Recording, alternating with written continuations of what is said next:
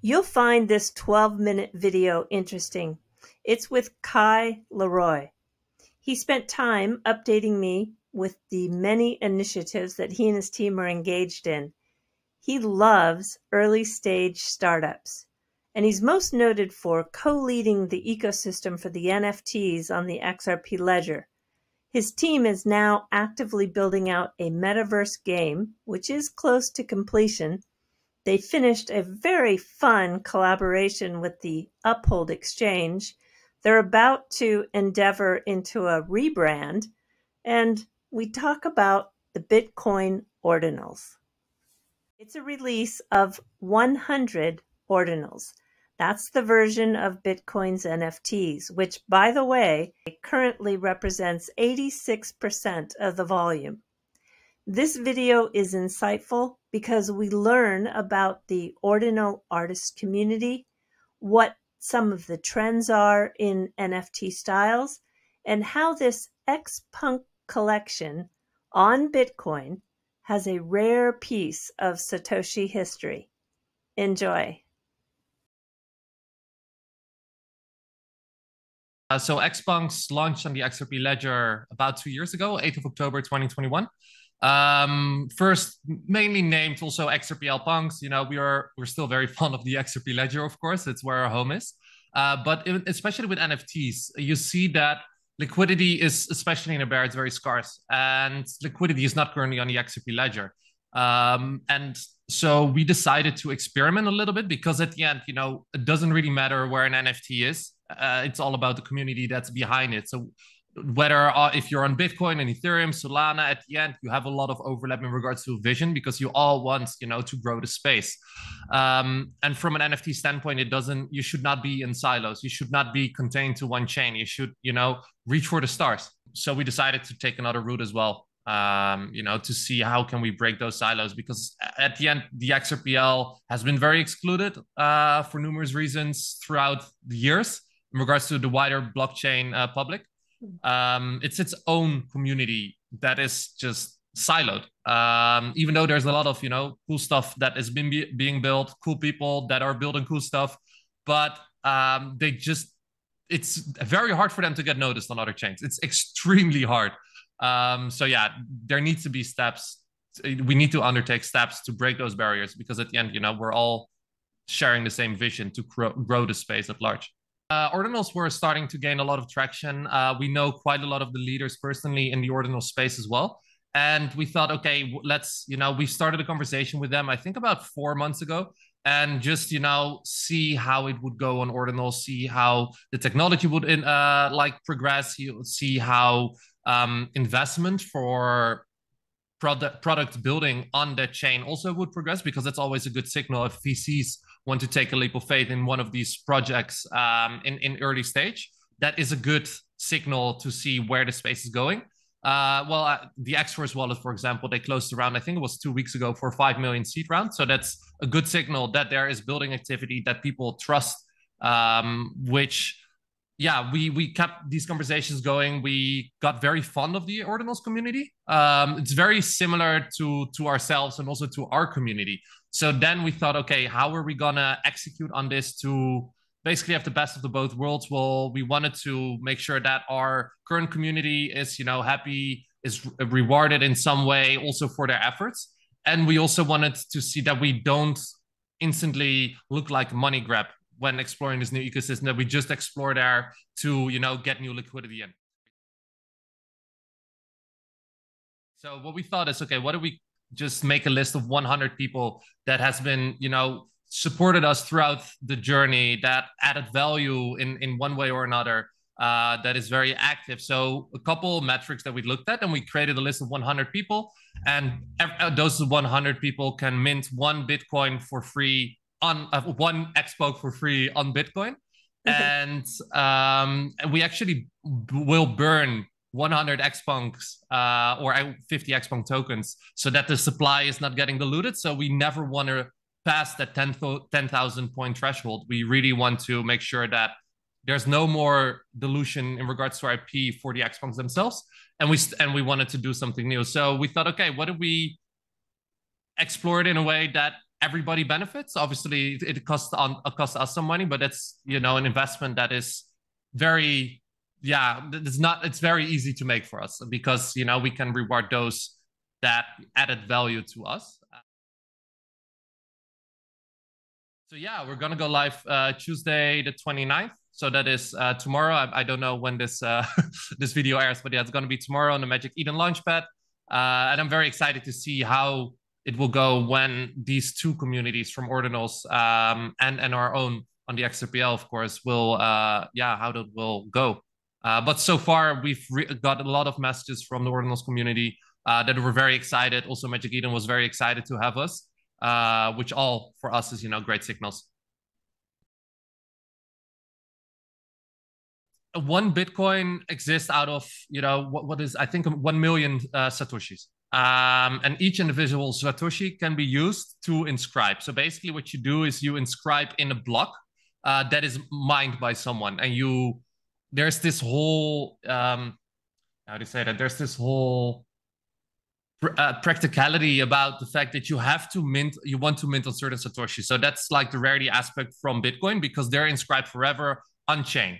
So it's not like it's there's uh, something pointing to IPFS or Arweave. It's literally you're inscribed on the chain itself forever, which is uh, you know marvelous. Um, and so, for example, we uh, the the Xpunks that are um, minted. Well, it's not even called minted; it's called inscribed. Yeah. Uh, so the Xpunks that are inscribed uh, that that go live on Ordinals tomorrow, they have, uh, for example, they're inscribed on block two eight six. And block 286 is um, is, is, is a block that's mined by Satoshi himself, which is, you know, uh, it, it is a piece of history. So we're offering our, our all our 100 supporters a piece of history uh, and an artifact. And that in itself is utility for, for me pers- personally as well, because you hold a piece of history, something that nobody can ever do again on that specific part. Like obviously there's gonna there's more satoshis you can inscribe on on that same block. It's still possible, uh, but the more the, the longer we the yeah these inscriptions continue to be inscribed, the less sets will be available. Mm. Um, so yeah, it's it's it's different. Uh, and it's obviously a lot less uh, cost efficient like the XRP Ledger. Uh, but it's yeah, it's also just different. It, it it's just different, uh, and I think difference is is good. You know, it's it's it, it, it is another fun thing to uh, to talk about. It's another fun thing to learn more about. Um, it's unique in its own kind. Yeah, no, you definitely see a lot of AI generative art. Uh, however, that has been evolved into more, yeah, less AI feeling art. How do, you, how do you say that? Like it looks less like AR art because it's you know it's been been prog- progressed. People has been have been optimized their prompts and all that. Uh, AI is also a step further than it was like six months ago. So uh, there's definitely some progression there. Uh, if you and then overall the art that you see is there's uh, a lot of anime.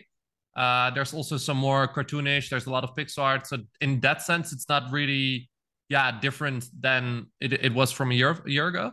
Uh, but what you do see is a whole movement on ordinals that goes into the one of ones. So basically, what you see in uh, generative art, for example, is that everything is generated and there's like yeah, let's say five one of ones in, in the entire 10 or 5K collection or whatsoever. Um, but what you see now in collections, for example, in ordinals, uh, that are very art and culture oriented, is that they do a lot of one of ones, uh, sometimes even the entire collection of 1,000, 2,000. So there's, there's a lot more exploration into uniqueness, I feel. Uh, and that's starting to to evolve more and more as well. People are kind of getting yeah fed up with copies and the same of this same of that no they do really want to create something unique and i think to see that evolve during you know the current market i think that's awesome to see because i do believe that is um, a great step forward. Yeah yeah there's um basically the nft community now consists of three kinds of people. You have the the flippers so people that just trade.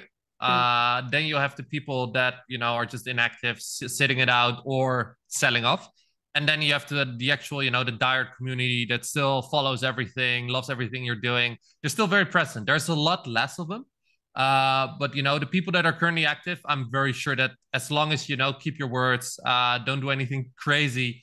that is you know negative, um, then you, you, you'll you'll see that they'll still be with you in the next two years. You know, um, and it's awesome. You know, you you consider them your friends and they consider them friends. You know, they have group ch- group chats. Uh, they talk with each other. We have our first community space uh, next uh, this week. So it's it's very exciting to see that also the community aspect of things is still very much growing. And I think, especially in the bear market, that's when the real community gets created. And then in the bull market, you'll just expand everything. And then when the bull market is over, uh, you'll still have that core community left that you know it has grown then over the, those past couple months and then again it's time to build and then you gain their trust again because you keep delivering keep delivering keep executing. And then when the bull hits again everybody's happy. Uh, people probably make some money and that's it. So how i see it it gives me a little bit of those underground internet vibes from 2010 2011 like when bitcoin first first started. So it is it is not a mainstream community. Uh, like if you can like you could see Ethereum as mainstream, you know, like you have the the day-to-day degens that like to party a lot, uh, flip flip JPEGs worth 200k, uh, VCs come in, you know, that that is like the the mainstream area. And I feel like more the ordinals community is more like, okay, we we're driven by results, we're driven by community and co-creation. Um, and we really want to make a difference and you see that in the community aspects as well. For example, OMB, um, they initiated this program, this bounty program, where they pay community members to build s- certain tools uh, to onboard new people.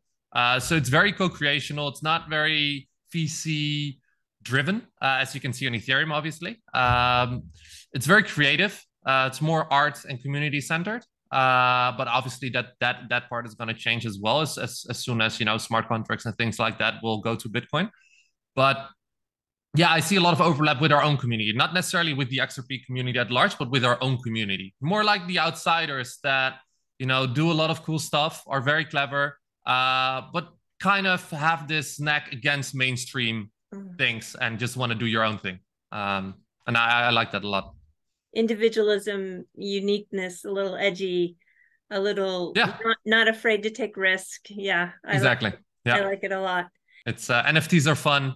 Uh, games are fun. And, you know, at the end, we're just doing what we love and we're pushing ourselves into also those things that we love. You know, we love we love we love raves. I used to go a lot when I was younger. Not anymore. Don't have time for it anymore. But used to go a lot. Uh, we love gaming. Uh, I've been gaming mm-hmm. since I was eight. So hey, let's just create a game. We love the in, we love online community. I've been in online community since I was since as far as I can remember entering the internet. Um, so you know, we just do things that we love.